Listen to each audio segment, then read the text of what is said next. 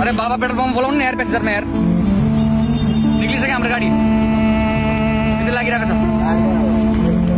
ल ल साढे पाँचमा पुग्छ त्यहाँ ओके ओके। टिकट सिकट भएको कि के हो मिलाउनु पर्ने हो बोकेर छन् सबजना बाबा त्यहाँबाट उठाउनु सबैलाई ठिकै छ भाइ अब यो हौसा छैन हुन्छ यो त्यो सिसाहरू छ नि पनि पुस्ने। हुन्छ बोजू होइन? ल त यसो चेक गरेँ। ओके हस् हुन्छ।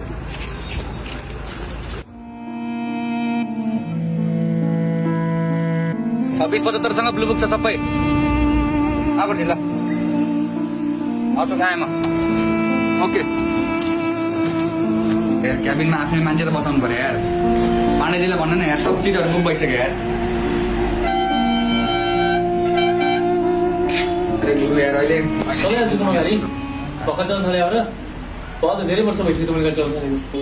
त्यहाँ त्यत्रो दुर्घटना भयो। बसले पुरा देउसी भैलीको टिमलाई नै सोडिदियो। अब त्यसको जिम्मेवारी कसले लिने? हामी त लापरवाही भएर हो नि त गुरुजी। यो चाहिँ जिम्मेवारी हुनु पऱ्यो गुरुजी। बस चलाउने भइसकेपछि। मैले हजुरलाई सिकाउनु पर्ने कुरा होइन कि गुरुजी? हजुरले उल्टो मलाई सिकाउनु पर्ने। कुरा यति हो कि गुरुजी होइन?